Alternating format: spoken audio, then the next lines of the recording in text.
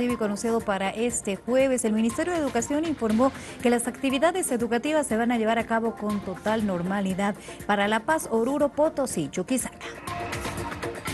El Ministerio de Educación informó que las actividades educativas para este jueves en los departamentos de La Paz, Oruro, Potosí, Chuquisaca se realizarán con normalidad. Estos departamentos deben cumplir hasta el 7 de diciembre sus actividades laborales, ya que se amplió una semana más la vacación invernal. Las clases son normales, ¿no? Eh, ustedes ya conocen eh, eh, el Magisterio Nacional, en todo caso el, Magisterio del Departamento de Oruro, de Potosí, de Chuquisaca, en todo caso los 52 distritos del Departamento de La Paz, con la finalidad de poder cumplir los 200 días de trabajo, eh, deben eh, eh, trabajar hasta el próximo 7 de diciembre, fecha en la que van a cerrar la gestión educativa en temas de relación maestro-alumno, para poder sistematizar posteriormente el tema de las calificaciones y poder emitir las libertades electrónicas en, el, ámbito que les corresponde y emitir los diplomas de bachiller para los estudiantes de sexto secundaria. La Paz, Oruro, Potosí, Chuquisaca. Chuquisaca y los dos, 52 sitios del Departamento de La Paz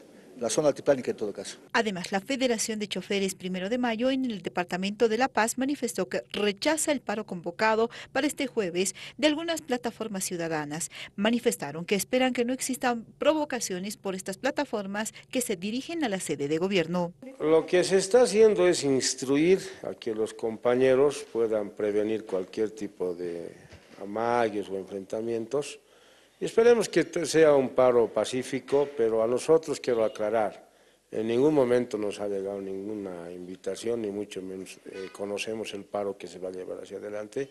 Sabemos que es público, que va a ser por el tema del 21F, y nosotros como transportistas simplemente estamos instruyendo que los compañeros tengan cuidado en la circulación del día de mañana. Además, dejar claro que el paro creo que de mañana es eh, quizás en esto apoyando algunos candidatos o biomios que ya están inscritos en la Corte Nacional Electoral, del cual solamente son del pasado, ¿no? y nosotros prácticamente como transportistas les vuelvo a reiterar, no hemos recibido ningún tipo...